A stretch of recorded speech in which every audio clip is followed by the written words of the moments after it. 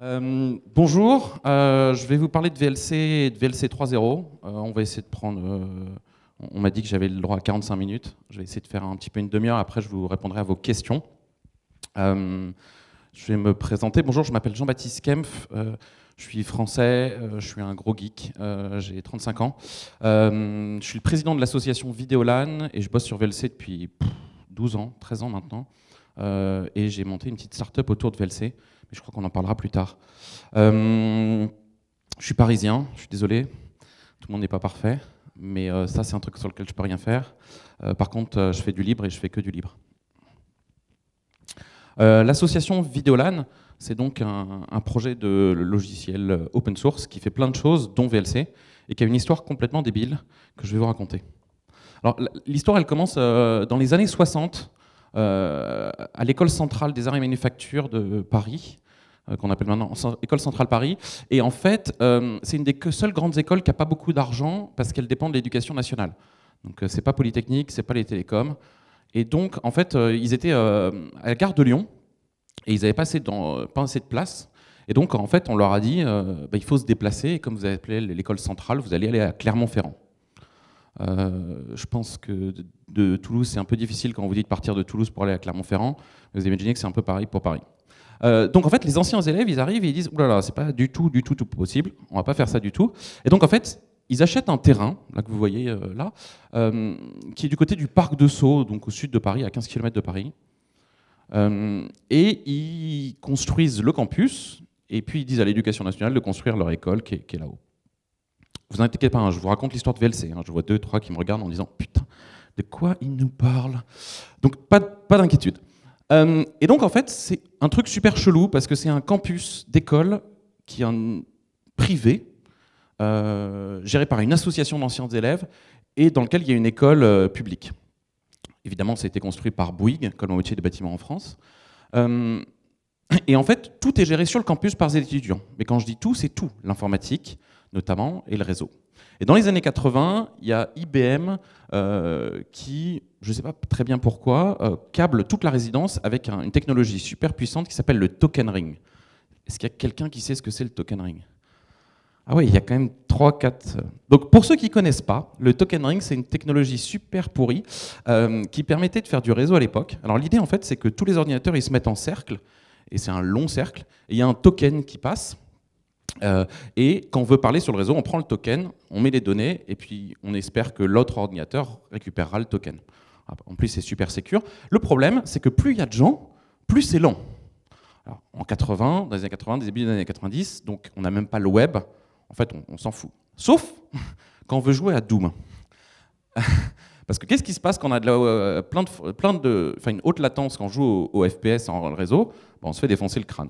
Euh, et ça, ça leur va pas du tout. Et donc en 93-94, ils vont voir l'école en disant on a besoin d'un nouveau réseau, euh, Internet, c'est important, etc.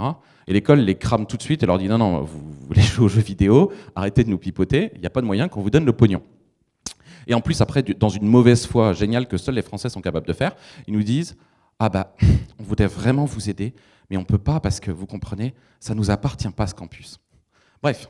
Euh, donc ils ont l'air cons et euh, ils décident de aller voir des industriels. Et ils vont voir des industriels et ils vont notamment voir Bouygues, qui a construit le réseau, et qui leur dit Ben, on aimerait bien avoir un nouveau réseau. Alors, vous imaginez bien que Bouygues, ils les ont, leur ont dit On comprend rien ce que vous faites. Mais ils ont allé dire Allez voir TF1, nos amis de TF1, et les mecs de TF1 leur disent Écoutez, nous, on pense que le futur de la télévision, c'est le satellite. Bon, 20 ans plus tard, lol.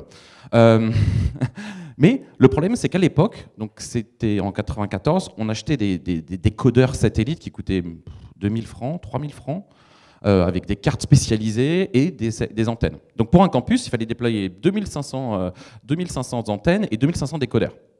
Donc ils leur disent, écoutez, si vous arrivez à mettre juste un décodeur et une chaîne, euh, une antenne satellite, et à diffuser sur votre réseau, que, évidemment vous allez éclater parce que c'est du token ring, on vous paye un nouveau réseau.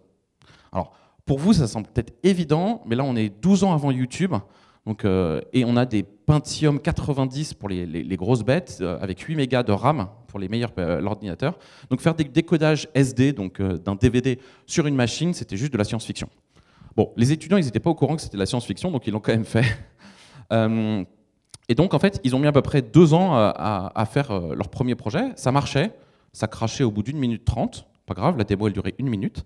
ils avaient mis un ordinateur, parce qu'en fait, tout liquait de mémoire, c'est pas grave. Ils avaient mis un ordinateur avec 64 mégaoctets de RAM, truc de ouf.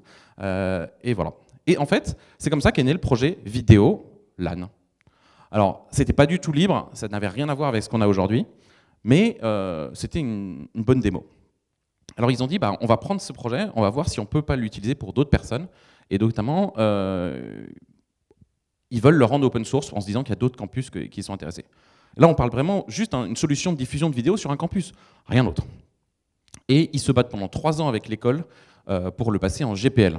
Je pense que l'école n'a jamais compris ce que c'était la GPL, mais en tout cas, au bout de trois ans avec euh, pas mal de batailles, ils ont réussi à, changer de licence. Et donc est né le projet Videolan, avec plein de projets dedans. Euh, celui que vous connaissez principalement, c'est Videolan Client, qui est devenu VLC, mais il y en a plein d'autres, euh, et plein de bibliothèques, notamment des petits trucs comme LibDVD qui permet de ouvrir les DRM sur tous les systèmes d'exploitation libre, mais aussi d'autres choses comme X264, qui est peut-être l'encodeur euh, vidéo le plus utilisé au monde, euh, ou d'autres choses comme Lib Blu-ray, ou qui m'ont fait euh, me permettre de me discuter avec nos amis de l'Adopi. On pourra en reparler. Ce qui est intéressant, c'est qu'en fait, ça c'était le schéma Vidéolan à l'époque. Donc il y a des VLC ou des VLS, comme Videolan Server, qui arrivent, qui transcodent de la vidéo, qui l'envoient sur le réseau qui est multicast et qui euh, l'affiche en fait sur les, sur, les, sur les lecteurs. Tiens, c'est marrant, il y a plein de petits points. Bon, finalement, votre projecteur, il n'est pas top, hein. euh, mais c'est pas grave. Euh, ce qui est intéressant, c'est que ça, c'était le schéma qu'il y avait en 2002, et en fait, bah, c'est toujours comme ça que ça fonctionne. Ce qui montre que les mecs en 2002, ils étaient plutôt malins. Alors, je vais juste vous parler un petit peu du multimédia. le multimédia, c'est génial, mais en fait, pas toujours. Le multimédia, c'est des prises de tête tout le temps. Euh, pour deux règles essentielles que sont la première règle qui est dans le multimédia, s'il y a une façon débile de faire quelque chose, il y a quelqu'un qui va le faire, et mal, et en plus il va se plaindre jusqu'à ce que ça devienne un standard euh, et que ce soit supporté partout. Et le corollaire, enfin la règle numéro 2, c'est dans le multimédia, il y a tout le monde qui pense qu'il savait tout, et en fait en vrai personne ne comprend rien. Euh, donc ça va du script kiddies dans les années 2003-2004 qui, télécharge un DivX, un logiciel pour faire des DivX et qui le fout dans de la VI, ou ensuite qui met du H264 dans la VI, jusqu'aux mecs de YouTube, où quand on va voir les mecs de YouTube, on se rend compte qu'en fait, bah, ils n'ont jamais fait de multimédia de leur vie, et qu'ils utilisent des tools euh, euh, mal aussi. Euh, et puis maintenant, en plus, on a les gens du web. Alors, les gens du web, ils sont géniaux parce qu'ils savent tout mieux que tout le monde. Euh, c'est normal, ils sont plus intelligents que vous. Ils bossent chez Microsoft et Google. Et qui, en plus, inventent des nouveaux standards encore plus débiles euh, où ils oublient tout ce qu'on a appris pendant 15 ans. Le résultat, c'est que c'est le bordel.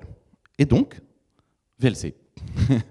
en fait, VLC, c'est populaire parce que c'est le multimédia, c'est le bordel. Alors,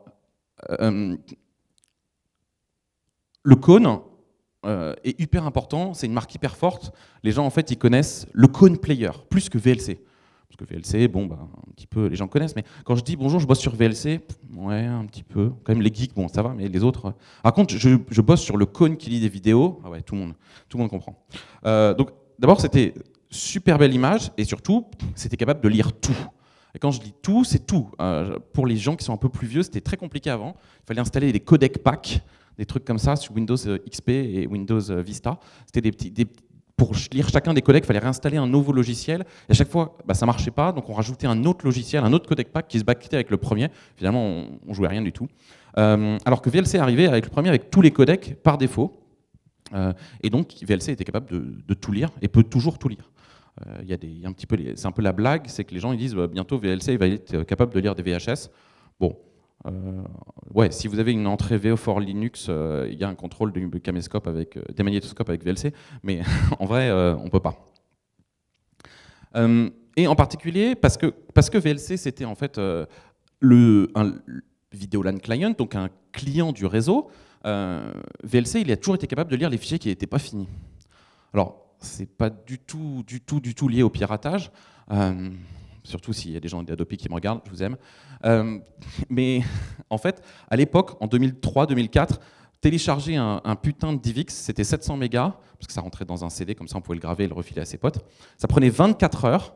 Euh, on était sur des 56K. Il fallait absolument pas que ta mère elle prenne le téléphone parce que ça coupait ta connexion. Euh, on faisait absolument pas sur Imul et iDonkey parce que ça c'est mal et il faut pas faire des choses pas bien. Mais on le faisait tous. Et le problème, c'est qu'en fait, il y avait plein de fichiers pourraves.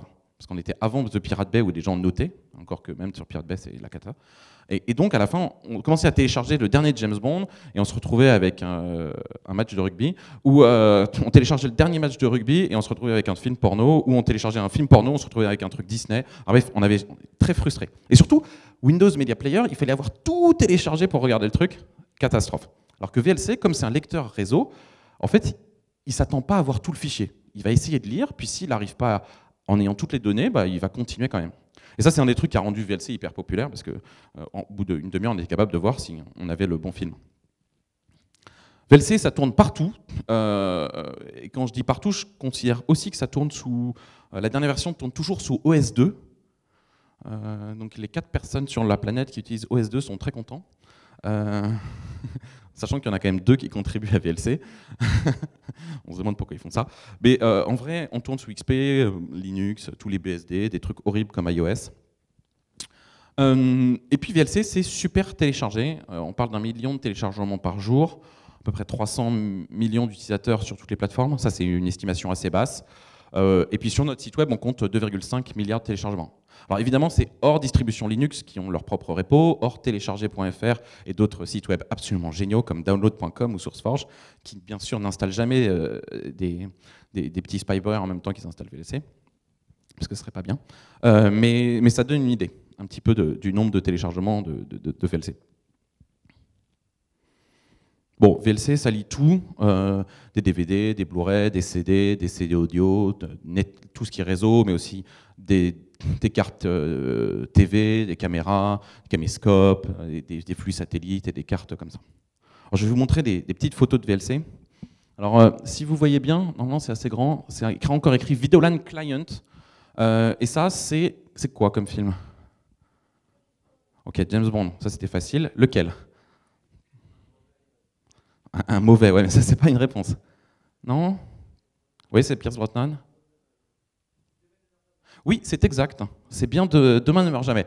Euh, en fait, le premier DVD qui a été lu avec VLC, euh, c'était GoldenEye. Donc c'est pour ça que tous les noms de code de VLC et toutes les machines, tous les serveurs de VLC sont nommés après des personnages de, James Bond. Euh, ça c'est la première version sous GNOME. ça doit être un bon GNOME 2, alors qu'en fait celui d'avant, ça doit être un GNOME encore plus vieux. Je ne sais pas si vous le voyez. Donc ça, c'était l'interface en GTK. Ça, c'était la première interface Mac, avec des petits effets glossy bien dégueux. Euh, ça, c'est la version que les gens ont plus connue, c'était la 08 en WXVidget. Si jamais vous faites du code jamais fait du WXVidget, sauf si vous aimez vous faire mal. Voilà, euh, après, ça a un peu évolué. Et puis, la, version, la dernière version, donc la version en Qt, qui est depuis quelques années. Donc ça, c'est la dernière version de VLC, c'est évidemment la meilleure puisque c'est celle qui a des poneys euh, et qui tourne sur un GNOME 3. Voilà. C'est important de le dire, c'est que VLC, c'est un des logiciels avec le plus d'utilisateurs, euh, mais qui reste un logiciel communautaire. Donc on n'est pas Mozilla qui a réussi à avoir 450 millions d'euros de, financement par an et qui a réussi à faire n'importe quoi avec. Euh, on ne parle pas de Android qui fait de l'open washing et qui est d'open source et qui n'a d'open source que de nom. Euh, ni des gens qui euh, ne travaillent que payés par Google, Facebook, euh, Apple et autres pour tout ce qui est server-side. On parle d'une vraie communauté de, libres, de gens libres. Quoi. et donc la plupart des gens ont toujours bossé sur leur temps libre. D'abord à l'université, à l'école centrale Paris, mais aussi après dans l'association Videolan. Alors, en 2009, en fait, j'ai créé l'association Videolan, enfin 2008, euh, qui reprend le corps de, la team en fait de VLC, mais aussi d'autres projets open source. Et en fait, on, se débrouille un petit peu pour, euh, aider tout, ce qui est logiciel libre autour du multimédia. Euh, des trucs comme FFmpeg sont hostés chez Videolan, X264, et puis plein d'autres projets qui peuvent être légalement compliqués. En tout cas, nous, on est là pour les aider. Tout ce qu'on fait, c'est euh, synchronisé par IRC et mailing list. Euh, même aujourd'hui, quand tout le monde fait du Slack euh, ou d'autres trucs absolument libres, tout ce qu'on fait en fait est fait sur des IRC et sur les mailing lists. On se rencontre en général deux fois par an, une fois au FOSDEM, une fois à une conférence qu'on fait. Et on n'utilise que du logiciel libre pour toute notre infrastructure, donc Track, PHPBB, MediaWiki, GitLab et des choses comme ça. On a eu un code of conduct très très tôt, et on a utilisé Git aussi très très tôt, avant que ça devienne fashion. Et donc ouais, nous on est vraiment dans le côté bazar de l'open source, et pas du côté cathédrale. Quoi. Ce qui est intéressant, c'est comment on fait nos, un petit peu nos, contributions. le corps de VLC, c'est 5 personnes. Donc on a c'est eux qui ont le droit d'accepter les patchs. Mais on a quand même beaucoup de contributeurs, à peu près 100, 150 par euh, an. Euh, et les décisions, c'est surtout sur la maintenabilité du code, plus que sur les fonctionnalités. Donc il y a plein de gens qui ne comprennent pas pourquoi il y a des trucs qui semblent évidents, qui ne sont pas dans VLC. Bah, en fait, la raison, c'est juste parce que le code qui nous a été montré, est pourri. Quoi. Euh, pourquoi? Parce que dans six mois, toi, tu arrives, tu me donnes du code et tu me dis Ah non, mais je vais le maintenir dans six mois. Dans six mois, euh, tu as changé de boulot, tu as changé de femme, tu as changé d'homme, euh, tu as eu un gamin, tu as eu un accident. C'est moi qui vais maintenir ton code. Statistiquement, 750 euh, personnes concomitées sur VLC, il y en a 5 qui restent, donc ben, statistiquement, tu vas partir, même si tu es sympa. Donc il faut que moi, je sois capable de maintenir. Et aussi, ce qui est important, c'est qu'il n'y a pas de marketing dans VLC. C'est les gens ont utilisé VLC parce qu'ils aimaient ça et parce que c'était des gens euh, qui faisaient de la technique, euh, qui codaient. Euh, voilà. Ce qui est important à comprendre, c'est que VLC, en fait, on a réussi à le faire cross-platform parce que c'est très modulaire. En fait, il y a un tout petit corps, donc VLC Core, c'est à peu près 100 000 lignes de code. Donc ça fait pas tant que ça. Et puis si on enlève les espaces et les, commentaires, c'est peut-être 60 000 lignes. Donc c'est tout à fait euh, de l'ordre du maintenable. Et ensuite, tout est fait dans des modules. Euh, les décodeurs, les sorties vidéo, même l'interface euh, Qt, elle est, en, en, module. Et donc en fait, ça, ça permet en fait de pouvoir maintenir très bien le logiciel. C'est-à-dire qu'il y a plein d'étudiants qui sont arrivés, qui ont rajouté une fonctionnalité, ils arrivent, ils restent un mois, ils font juste un petit module et ils installent le module. Et surtout, il y a plein de modules, on n'y touche jamais parce qu'ils sont toujours présents.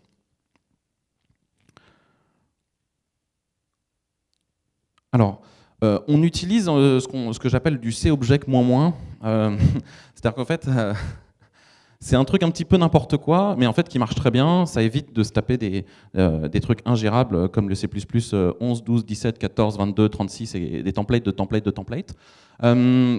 En fait, on, abuse en fait de, structures anonymes et de pointeurs sur fonction pour avoir une sorte d'objet très simple. Et c'est comme ça en fait que tous les modèles, tous les objets et tous les modules peuvent être réimplémentés. Euh, l'intérêt, peut-être qu'aujourd'hui il est moins évident, mais en 2001, les compilateurs C++, c'était quand même pas, c'était quand même pas la joie. Euh, et surtout, ça reste des API euh, et des API hyper simples. Et ça, c'est vraiment intéressant. Alors, comment on lit une vidéo avec VLC Grosso modo, votre œil il est là-bas, votre oreille il est là-bas, et puis ben là c'est votre entrée. Donc en général, vous mettez une URL, que ce soit un fichier, un DVD, un flux HTTP. C'est ce qu'on appelle le protocole qui arrive. Ensuite, on a le format, donc ça c'est MKV, AVI, MP4 qui arrive et donc qui prend le flux de données et le split. Ensuite, vous avez ben, un décodeur de sous-titres, un décodeur vidéo, un décodeur audio. Vous les filtrez et vous les, et vous les sortez. Ce qui est intéressant, c'est que VLC, ça ne fonctionne pas comme YouTube. C'est que si vous regardez bien, les deux premières flèches, elles vont dans le mauvais sens. Ouais. Parce qu'en fait, VLC, il ne va récupérer sur le réseau que ce dont il a besoin. Et en fait, il fait un buffer en temps constant, c'est-à-dire euh, il va bufferiser 300 millisecondes ou une seconde, alors que quand vous allez sur YouTube, bah, qu'est-ce qui se passe? Il va télécharger tout ce qu'il peut, même si jamais vous ne regardez pas euh, l'heure et demie de vidéo de chat qui est absolument passionnante, euh, même si le truc marrant, il s'est passé à 10 secondes. donc en fait, VLC a toujours été très, très économe des ressources réseau, même si aujourd'hui, ça n'intéresse plus grand monde. Alors on peut faire plein de trucs à la con dans VLC, et je vais vous en montrer quelques-uns. Donc évidemment, on a un lecteur VNC et Remote Desktop, euh, parce que c'est complètement fondamental. Euh, je veux juste mentionner quand même que à gauche, vous voyez une VM VirtualBox avec macOS, et de l'autre côté, un VLC. Les clics fonctionnent, donc si jamais un jour vous êtes en galère et que vous ne pouvez pas installer un VNC, utilisez VLC. On a évidemment un truc de screen grab qui est évidemment beaucoup trop lent parce que faire du screen grabbing c'est toujours difficile. Mais c'est super cool parce que ça permet de faire des super screenshots comme ça de mise en abîme et de gagner plein de karma sur Reddit et sur euh, Hacker News. Donc ça c'est quand même vachement cool. Évidemment VLC qui n'est pas vraiment un lecteur multimédia mais en fait un, framework complet peut lire plusieurs inputs. Et notamment ça, c'est la mosaïque de Free que vous avez vu pendant plusieurs années si vous étiez chez Free et vous aviez tout compris. et en fait, c'est un seul VLC qui décode 20 flux en parallèle et ensuite les merge dans un vidéo filter et affiche ça. L'intérêt, c'est qu'au lieu de l'afficher, vous pouvez le réencoder et restreamer comme ça. C'est comme ça qu'on fait une mosaïque et on ne dépense pas 45 000 euros pour le faire. Même chose. Euh, VLC, c'est faire du wall display. Donc ça, c'est vachement utile si vous avez quatre télés chez vous et que vous ne savez pas quoi en faire. Euh, sachant que ça marche aussi à travers plusieurs, euh, à travers, plusieurs ordinateurs. et donc de synchroniser, en fait, ça synchronise directement le flux sur les timestamps de la vidéo. Il y, a plein, y a plein de walls que vous voyez dans, dans des bars, etc., où ça coûte très très cher. En fait, c'est juste quelques VLC derrière on supporte le karaoké. Euh, là, j'ai du mal à justifier quand même. mais mais, mais c'est cool, hein. et ça marche même en karaoké sur, euh, sur Android et sur iOS. Euh, on supporte le MIDI hmm, pour les gens qui veulent. On a évidemment une version headless, donc en, console, soit en version pure command line, soit en Ncurse. Euh, mais bon, là, vous voyez bien que le vidéo output, euh, c'est un vrai vidéo output. Donc si vous êtes vraiment en SSH et que vous n'avez pas de bande passante pour regarder votre film, évidemment, on a la libkk euh, qui vous permet de streamer en ASCII. Alors attention, c'est pas de l'Unicode, hein, on triche pas, hein, c'est juste de l'ASCII. et c'est quand même pas mal. Autre truc qui sert à rien, on a évidemment une sortie HTTP. Euh, qui permet soit d'afficher en fait en local et de contrôler son VLC. C'est comme ça que fonctionnent toutes les remotes VLC, ou soit en fait de restreamer et de renvoyer en HTML5 euh, sur votre lecteur. Évidemment, on a une version Android, donc euh, même si Android c'est pas vraiment open source, VLC sur Android c'est intégralement open source. Contrairement aux autres versions de VLC, c'est une version qui est GPL v3, parce qu'en fait on est obligé de linker avec du code Apache 2. Et contrairement à VLC, ça fait à la fois audio et vidéo. Euh, en particulier parce qu'en fait, euh, sur Android, euh, on a besoin d'une base de données en fait, multimédia. Parce que sur un PC, vous doublez-cliquez sur votre Explorer, sur votre Dolphin ou votre Finder et vous lancez VLC. Vous n'avez pas vraiment ce concept sur les applis mobiles. On supporte toutes les versions d'Android de 2.2 à 8.1, encore maintenant. on supporte Android TV, Android Auto, Android Go, Android++, Android je sais pas quoi. mais grosso modo, en fait, on active un petit peu toutes les fonctionnalités. Alors au début, c'était moche, euh, habituellement, quoi, comme, comme d'hab pour VLC. Euh, donc après, on s'est mis à, travailler pour, euh, pour, avoir un thème un peu plus moderne, qui était le terme holo. Quand on a sorti la version qui avait le terme holo, Google a sorti en disant ah, il y a un nouveau thème qui s'appelle matériel. Donc on a changé en matériel. Et donc là, on est à peu près, près proche du matériel avec la prochaine release. Donc bientôt, Google va donc changer de thème parce que sinon, ça serait pas drôle. On a une version pour iOS qui a été un peu compliquée parce qu'elle a été sur le store, elle a été plus sur le store, elle a été à nouveau sur le store, elle s'est fait à nouveau enlever, euh, mais qui marche pas mal. Par contre, elle fait juste la vidéo.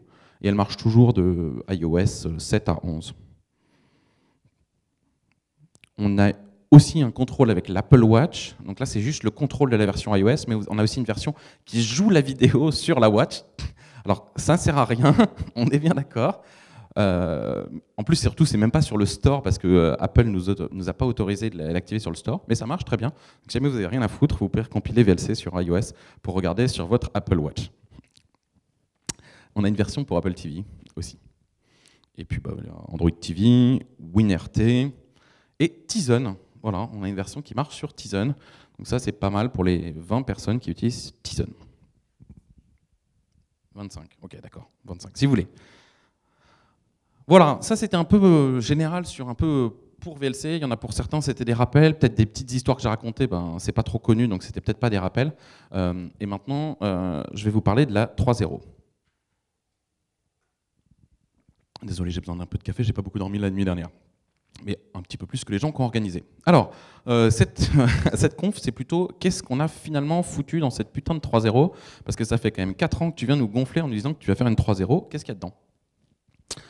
Euh, la première remarque, en fait, c'est que ben, la version 2.2 de VLC, c'est une assez bonne version.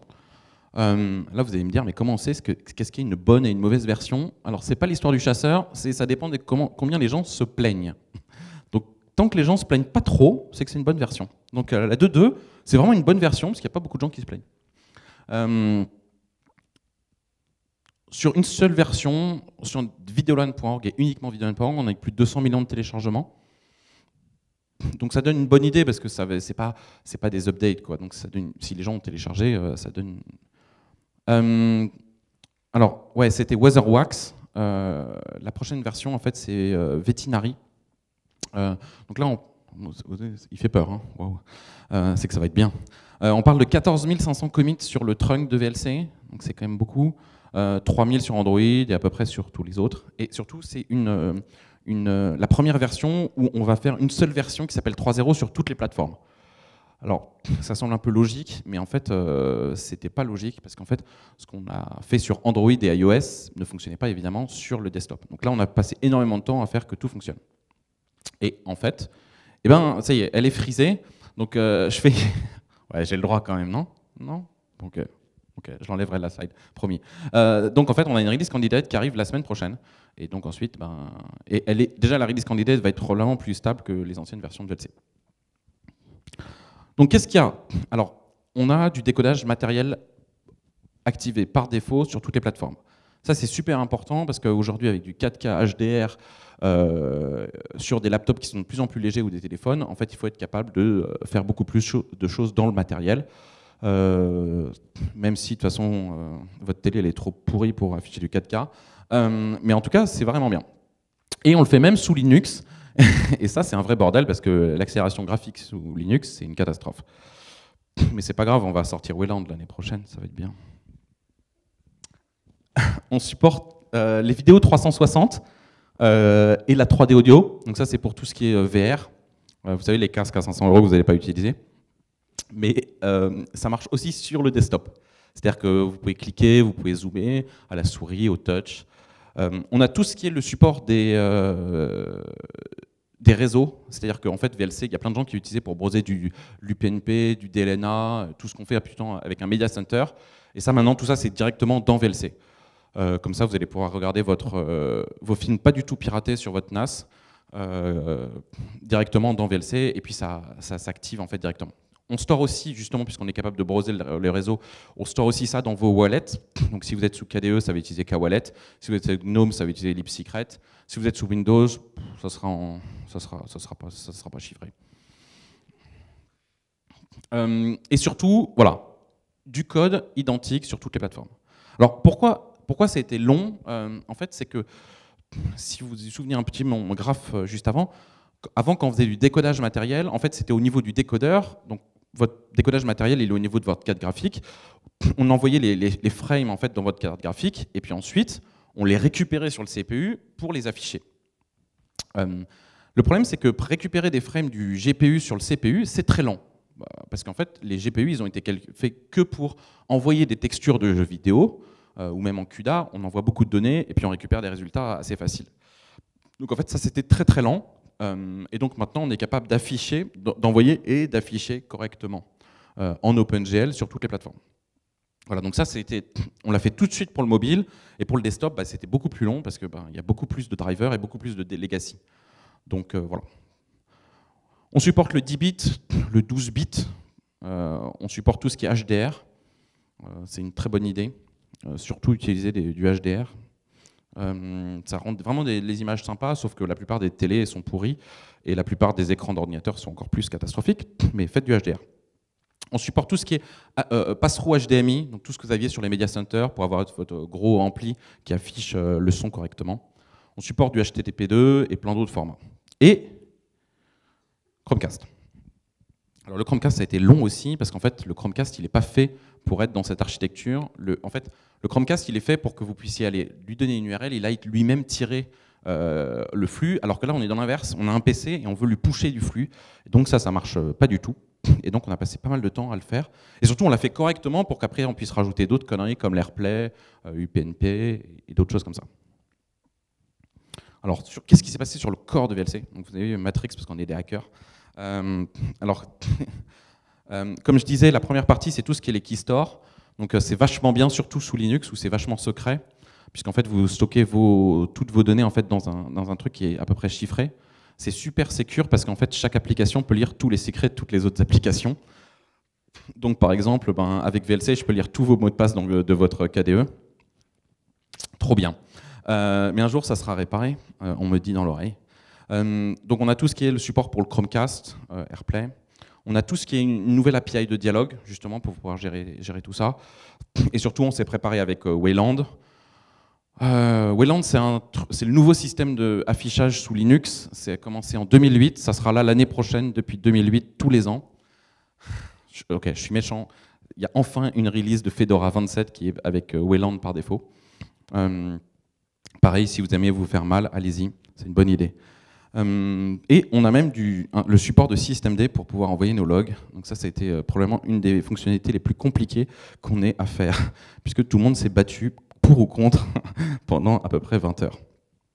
comme j'expliquais, on peut faire du browsing. on supporte le NFS, donc ça c'est super bien. Euh, tout ce qui est SMB, SFTP, FTP, UPnP, DLNA. On a rebossé tout notre système de, support des zip, donc euh, on utilise libarchive pour ça.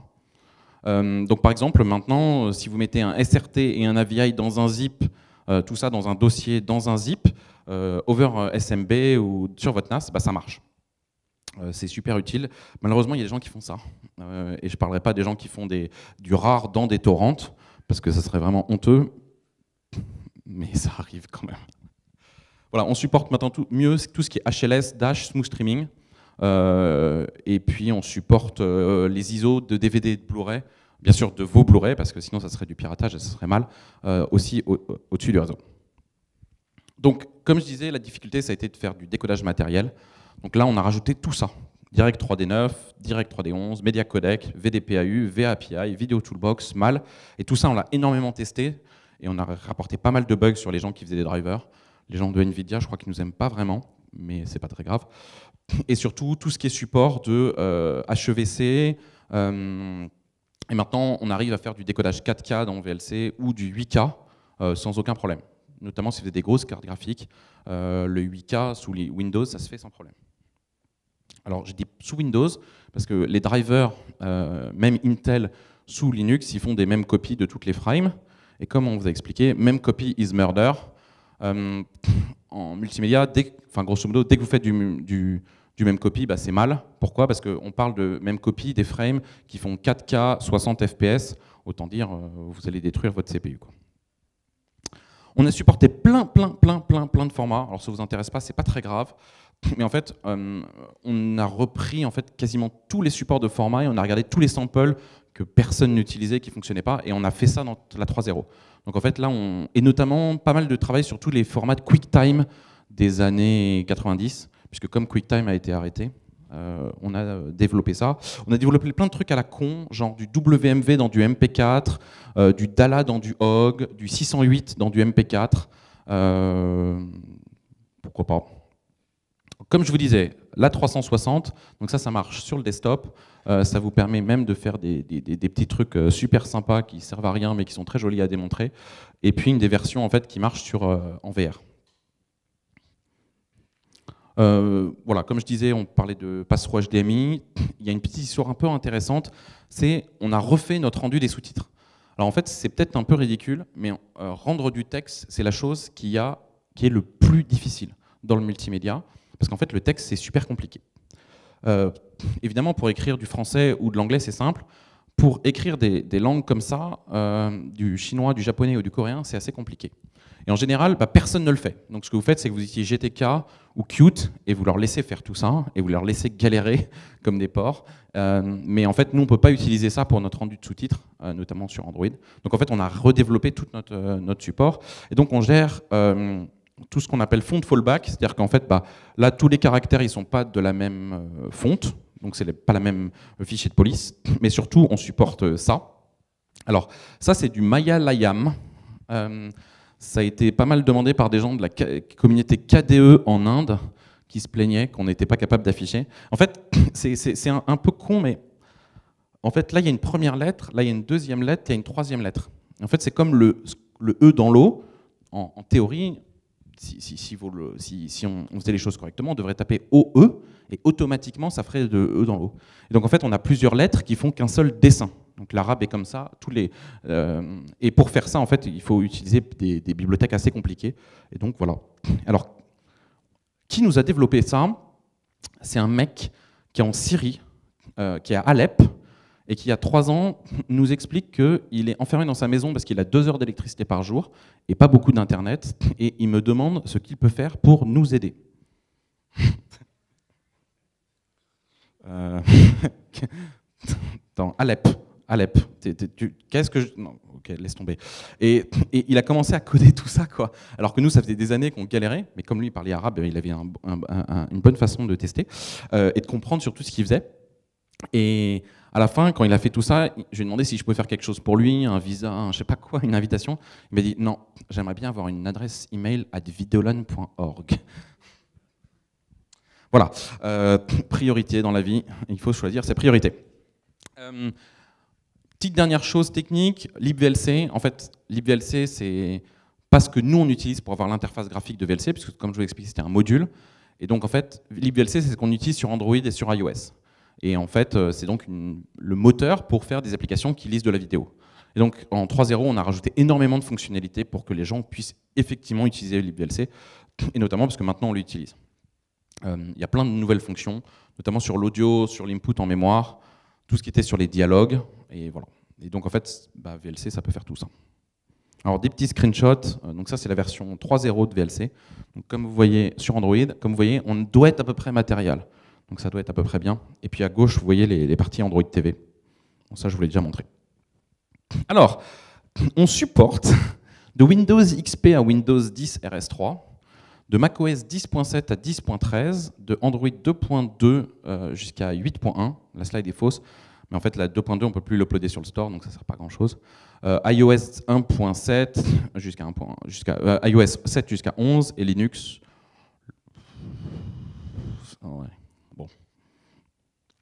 Alors on va essayer de faire une seule release en synchronisé. Donc vous avez le droit de vous foutre de ma gueule parce que évidemment ça va merder, mais on va quand même essayer. Voilà. Euh, on a au moins 10 minutes pour des questions et en plus après il y a une pause, donc je vous réponds à tout ce que vous voulez.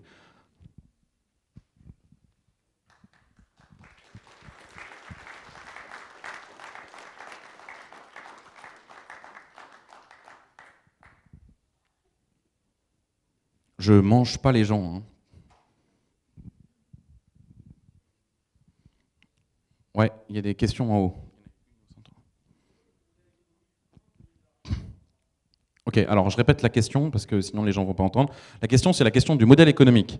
Il n'y en a pas. Ok, question suivante. Euh, alors en fait, je vais te répondre un peu, plus, un peu mieux parce que c'est un peu du foutage de gueule comme réponse. Euh, mais bon, je n'ai pas pu m'empêcher. Il n'existe pas de business model open source B2C. Il n'y a pas d'exemple.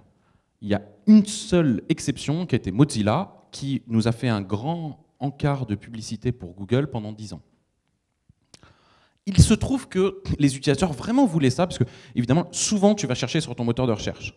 Mais de fait, c'était quand même une grosse part de publicité qui rappelait plusieurs milliards à Google par an. Hors de ça, il n'existe pas de business model open source B2C. Alors, maintenant je vais un peu tempérer. Euh, moi j'ai lancé une boîte qui s'appelle Video Labs il y a 4 ans et je fais euh, du consulting, de l'intégration du moteur VLC pour d'autres personnes en B2B. Mais on parle de euh, quelques centaines de milliers d'euros par an sur la boîte de conseil, c'est pas du tout dans Videolan, et c'est par rapport au nombre d'utilisateurs, c'est ridicule. Donc c'est clairement ridicule. Moi, en général, quand je vois des hommes politiques français, j'adore dire que me présenter en disant que je suis l'éditeur du, logiciel français le plus utilisé au monde et du moins rentable ben, c'est vrai que par euh, mon ARPU, donc euh, l'argent par utilisateur, elle est vraiment, vraiment, vraiment très faible. Est-ce que ça répond à ta question? Il y avait une question tout en haut à gauche? Ouais.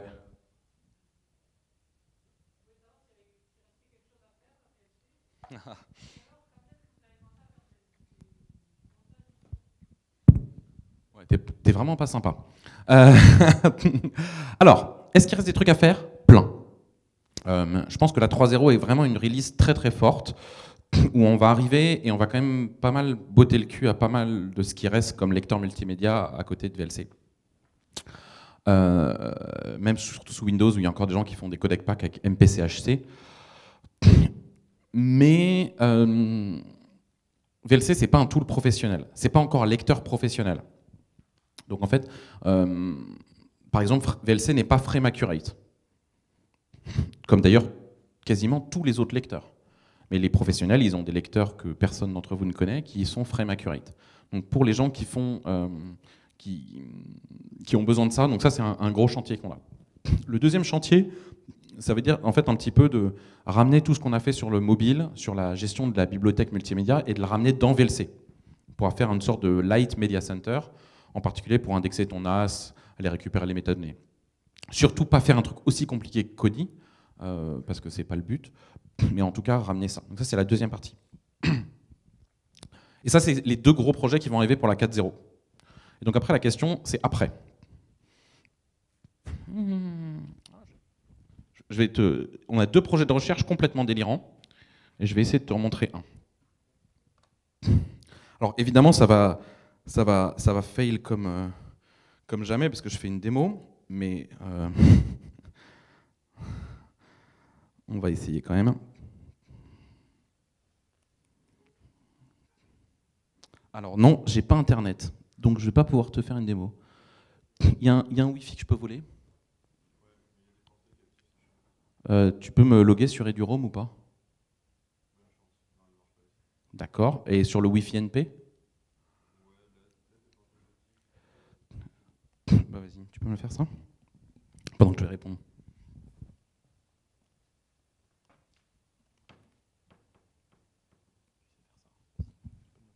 Alors, pendant qu'on va me loguer Internet, je vais te montrer, je vais te répondre à la deuxième question.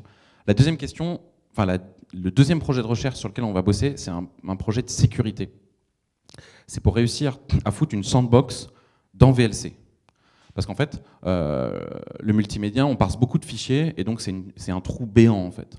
Et le problème, c'est que les gens maintenant, ils utilisent plus que 3 ou 4 applications sur leur PC. Ils utilisent un navigateur, un lecteur multimédia, un lecteur PDF, un lecteur d'images et une suite Office. Et donc en fait, maintenant que les navigateurs sont quand même sacrément sécurisés, bah, en fait, euh, on est les prochains à se faire péter. Euh, et en plus, les gens ils téléchargent n'importe quoi comme film, n'importe quoi où ils peuvent. Donc on a un gros travail qui est de foutre des sandbox à l'intérieur de VLC. Hein? Il n'y a pas de code. Oh non, mais tu parses des formats. Donc Stack Overflow, Buffer Overflow et trucs comme ça, c'est hyper facile. Euh, VLC, il y a des millions de lignes de code. Donc c'est hyper facile d'exploiter des trucs, notamment autour de FFmpeg. Donc en fait, euh, la seule façon de s'en protéger, c'est justement en fait de mettre des sandbox dans VLC. Il n'y a pas beaucoup d'autres manières. C'est une blague ça. Analyse statique, évidemment, nous ça fait des années, on fait analyse statique, on fait du fuzzing, etc. On parle de 15 millions de lignes de code qui sont la plupart pas dans VLC, dans 70 à 90 dépendances. C'est impossible de le faire. Des failles de sécurité sur FFmpeg, on en a trouve tous les jours. C'est beaucoup trop compliqué. Et puis de toute façon, toutes les plateformes se comportent différemment. Donc l'analyse statique et l'analyse dynamique, on fait du ASAN, du UPSAN, du TSAN depuis très longtemps. C'est clairement pas suffisant. Et, surtout, on, compile du code qui n'est pas à nous. Donc en fait, il faut qu'on se défende contre notre propre code. De la même façon que Chrome euh, utilise des sandbox pour euh, chacune, chacune de ses parties. T'as toujours pas de réseau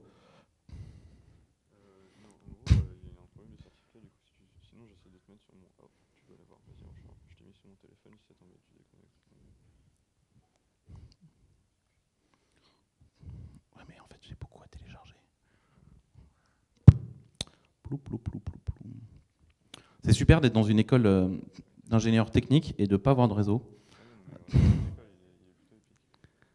C'est ça, c'est sûr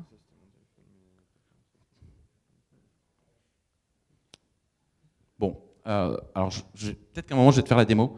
L'autre projet, c'est de compiler VLC en JavaScript.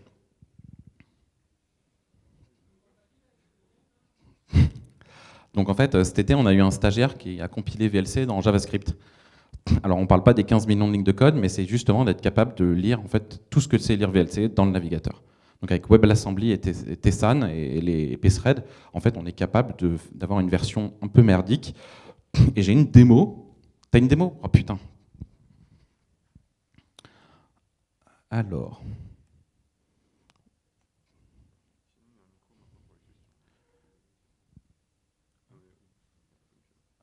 Attends, attends, j'ai essayé de montrer que ça galère pas trop. évidemment, ça va, ça va fail euh, de façon abyssale parce que j'ai mis à jour euh, Firefox. La 57, c'est quand même pas mal. Bon, pendant ce temps, d'autres questions Une autre question, ouais. pour quelle raison hein, VLC a été retiré de F-Droid Parce qu'il a été pendant une période et il est introuvable maintenant. Attends, attends. Donc voilà, ça c'est un, pour ceux qui connaissent, c'est Wildlife, c'est le fichier WMV qui est installé par défaut sous Windows et qui tourne en JavaScript dans un Firefox normal sous Linux avec VLC. Aucun transcodage, euh, rien. Bon, comme vous, pas si vous entendez, il y a un petit problème de son dans les buffers son, mais euh, c'est de la faute de Firefox. voilà. Donc euh, ben ça, c'est une des réponses qui est la question qui après, qu'est-ce qu'on fait? Ben par exemple ça. Voilà. Alors ta question était Par rapport au retrait de VLC sur F-Droid, pour la version Android, de F-Droid. Ouais, c'est des boulets, ils savent pas compiler, c'est des cons. D'accord. Question suivante. C'est pas, pas, un problème de licence Non, non, c'est juste des débiles. Ils... Ils veulent pas compiler. Ils veulent pas compiler la dernière version. Ils compilent des versions bêta sans nous demander. Et ensuite, ils les mettent pas à jour parce qu'ils ont un problème d'infrastructure. On leur fout un Docker avec des Docker images intégrés sur comment le faire. Ils veulent pas le prendre. Bah, c'est des boulets, quoi. Euh, à un moment, tu vois, on a des nightly builds toutes les nuits, on paie des releases intégrales qui arrivent, qui prennent une Debian, build un Docker, build de tout, ils ont aucune raison de ne pas le builder. Donc euh, moi j'ai gueulé plein de fois parce que quand ils nous envoient une version qui a plein de failles de sécurité parce qu'ils n'ont pas été capables de compiler la, version suivante, euh, c'est pas normal. Donc, euh, dommage pour eux. Et c'est dommage pour leurs utilisateurs, euh, parce qu'il n'y a pas d'autres lecteurs qui marchent bien, qui soient libres sur Android. En même temps, si c'était moins des Ayalotola et un peu, des gens un peu plus ouverts, ils, se débrouilleraient pour, euh, pour être capables de le faire. C'est pas compliqué. Tu poules le Docker, tu le builds. C'est comme ça que nous, on fait nos releases. C'est quand même pas compliqué. D'autres questions? Ouais.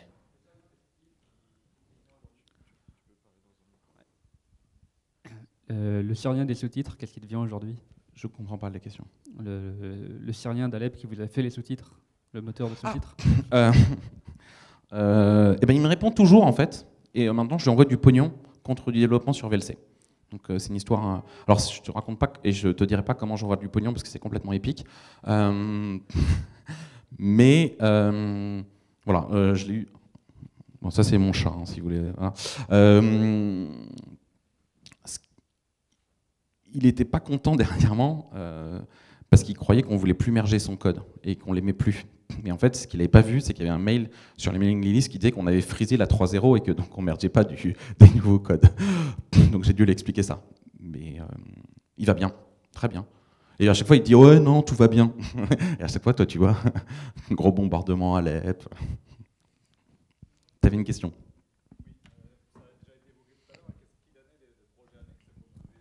Ah oui, et VLMC. Euh, VLMC, ça marche pas trop mal, euh, mais on n'a pas assez de gens qui ont envie de bosser dessus en fait. Euh, mais actuellement, ça marche pas trop mal. en fait, on l'a fait en utilisant un peu le même moteur que KDN Live, mais en fait, c'est VLC qui prend toutes ces, tous les formats de VLC et les transforme pour, pour MLT et les affiche. Je, j'aimerais bien trouver un peu de pognon pour pouvoir embaucher quelqu'un là-dessus, mais c'est un peu difficile.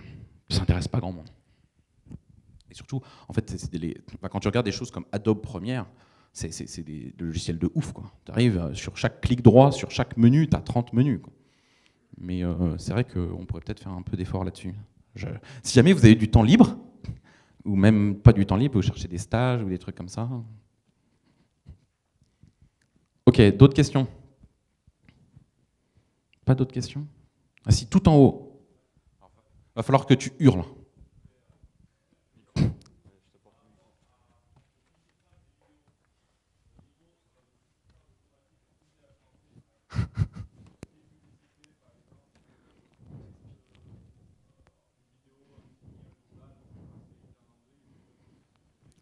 Donc la question en fait c'est euh, c'est la fabrication automatique des sous-titres, c'est ça?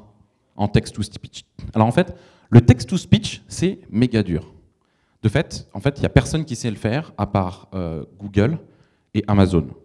Parce qu'en fait, ils, ont des, bases de données monstrueuses pour le faire. euh, c'est Google Now ou Google Home ou Alexa, Amazon Alexa.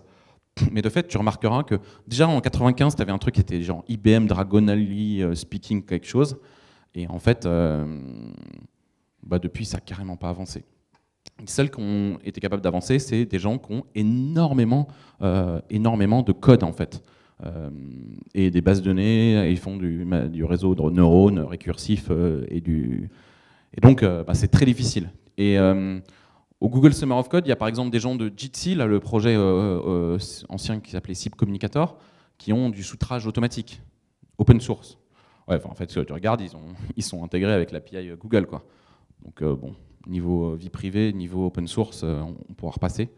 c'est vraiment très difficile. et on parle de plusieurs années de recherche, je pense, pour arriver à ces niveaux-là. Donc, c'est pas demain la veille.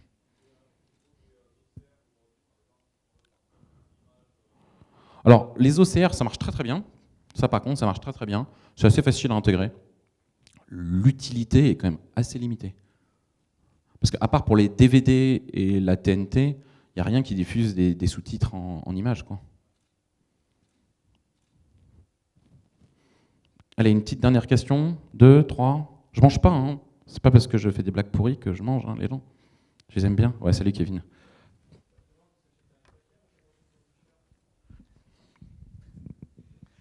Euh, en codant sur VLC. Donc euh, la licorne, euh, ouais, c'est que pour les gens qui codent. Et, comme le,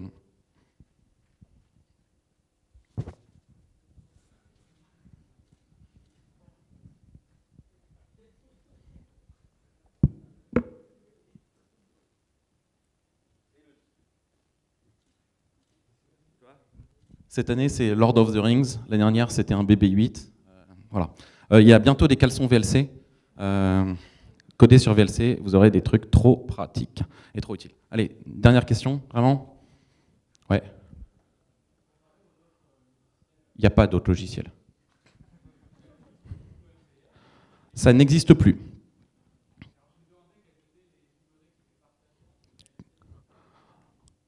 Alors, en fait, la question, c'est qu'est-ce qui est partagé entre les autres lecteurs? Bon, déjà, MPlayer, ça n'existe plus. Euh, ça a été forqué plein de fois en MPlayer 2, en MPlayer NG, en MPlayer Win32, aujourd'hui en MPV. Euh, et en fait, la plupart des codecs sont dans les bibliothèques et FFmpeg, libAV codec. Mais aujourd'hui, tu n'as aucune raison d'utiliser MPlayer par rapport à VLC, parce que VLC a une version euh, en ligne de commande. Euh, la raison pour laquelle MPlayer, qui était là avant VLC, est moins connu que VLC, c'est parce que justement, comme VLC était fait avec un système de modules assez intelligemment fait, quand tu voulais rajouter une fonctionnalité, tu n'avais pas besoin de forquer le logiciel. Et, notamment quand le port de VLC était porté sous Linux, euh, sous Windows et sous Mac, bah, ça fonctionnait sans modifier le reste du code. Euh, et aussi, on a une euh, habitude, notamment moi, assez agressive pour dégager les connards. et ça, ça être de, pour avoir un, logiciel qui est assez sain. VLC, c'est là depuis 15 ans. la marque, elle est hyper forte et elle va le rester. Euh, ceci étant dit, il y a quand même beaucoup de collaboration et souvent nous on pousse les gens à pousser les codecs euh, plutôt dans l'IPAV codec que dans VLC. La grosse différence pour le format de tous les jours, c'est tout ce qui est le support de, des formats MP4, MKV, etc. Puisqu'on a nous on a notre propre code euh, qui est quand même, alors je vais te répondre deux fois, un plus sécurisé et deux qui fonctionne mieux avec plus de formats. Ouais, encore une question. Non. Non. Clairement. Euh, c'est très difficile de travailler avec les distributions Linux. entre calamiteux et euh, difficile. Euh, tu veux des noms? Non. Vaut mieux pas. ils veulent pas comprendre. Ils veulent pas comprendre que ils ont des politiques de packaging qui n'ont aucun sens pour un lecteur multimédia. Donc euh, c'est très difficile. Résultat, je trouve avec VLC, qui est un des paquets sous Debian qui a le plus de dépendance. Bah, en fait, la seule chose qu'on a, c'était un, truc, c'est un forum, je sais pas quoi, euh, qui est euh, les trucs les plus populaires. quel est le lecteur le plus populaire? Et tu sais, il y a un vote là, je sais pas quoi. Euh, les gens de KDE, ils sauront un peu mieux que moi. Et à chaque fois, VLC est numéro 1. Ou euh, quand il y a eu Ubuntu qui a fait un sondage pour savoir quel était le lecteur multimédia qu'ils devaient mettre par défaut, il y a VLC, ils étaient à 90%. Donc, à part ça, je sais pas. C'est très difficile hein, parce que combien il y a d'utilisateurs de VLC sous Linux? Bah Déjà, combien il, y a combien il y a d'utilisateurs de Linux tous les jours sur le desktop? Donc on va dire quoi? Il y a 3 milliards de gens connectés à Internet avec un ordinateur? Et peut-être deux. Il y a quoi 5% de Linux? 5% de Linux, c'est pas mal Ouais, ça va 100 millions. 100 millions. Sur 100 millions, il y en a combien qui de, bureaux 100 hein millions. Combien utilisent VLC entière Peut-être. Ça fait 30 millions d'utilisateurs sous Linux régulier. Voilà. Et je ne le compte pas dans les statistiques parce qu'évidemment, euh, je ne le sais pas. Mais c'est pas très grave. ça ne me rapporte pas plus d'argent. D'ailleurs, euh, bonne remarque, quand on a des utilisateurs qui sont trop chiants, je leur conseille d'aller utiliser MPlayer. Bon allez, encore des questions? Allez, la dernière. C'est de la merde. C'était quoi ta question? Bon, euh, alors la question, elle est peut-être un peu plus. Je vais peut-être quand même te faire une meilleure réponse que ça, même si elle était quand même plus marrante comme réponse. Le H265, c'est quand même un bon codec. On parle quand même de 30 à 45% d'encodage euh, amélioré. Euh, moi, en général, je donne 30% comme euh, valeur. C'est à peu près ce que j'ai vu. Le problème, c'est que c'est un format avec beaucoup de brevets et qu'il n'y a pas beaucoup de bons encodeurs.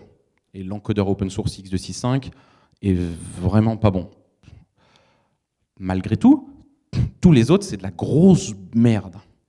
Donc, dans le style, il est mieux que les autres, mais c'est quand même pas bon. Euh, il y a un nouveau codec qui s'appelle euh, AV1 qui est développé par Google, Facebook, Mozilla, Netflix et tout ça, qui sort au 1er janvier. Et ça, ça va être un vrai bon codec. Open source, libre, pas de brevets, en tout cas des brevets royalty free. Donc, euh, et ça, ça arrive, et ça, ça va être vraiment bien, et on parle de 25% mieux que HEVC. Je réponds peut-être mieux à ta question là. Ok, time's up. Merci beaucoup.